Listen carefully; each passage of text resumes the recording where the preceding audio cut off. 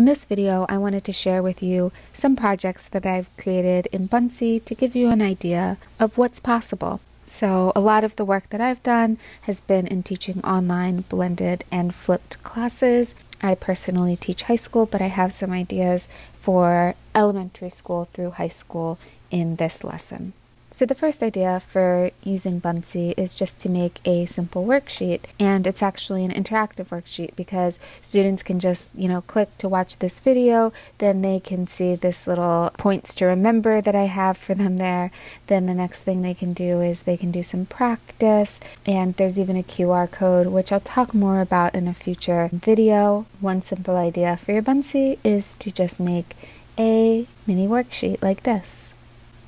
The second idea that I wanted to share was making Buncee cards for family members. And this is so fun to do with the younger kids because they can make a truly interactive type of card. They can add in animations. They can even add in videos of themselves or videos they find from YouTube. And you can see me doing this activity with some students who are about third graders and they were just having a ball with it.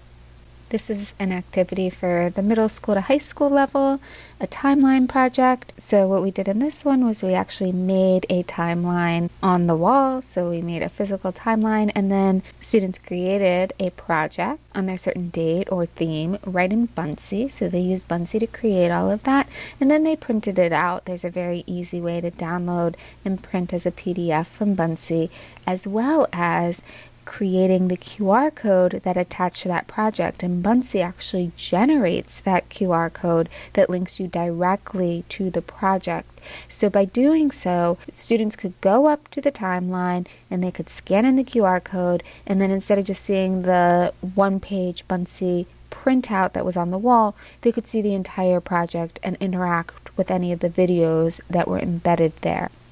The next idea is just to do some oral presentations in Buncee with any object that you've put in there. So, any picture, any text, any element that you add to Buncee, you can attach an audio with it. And so, this is a great way if you're teaching an online or a blended class and you want students to be able to verbally present. This is a great way to do this.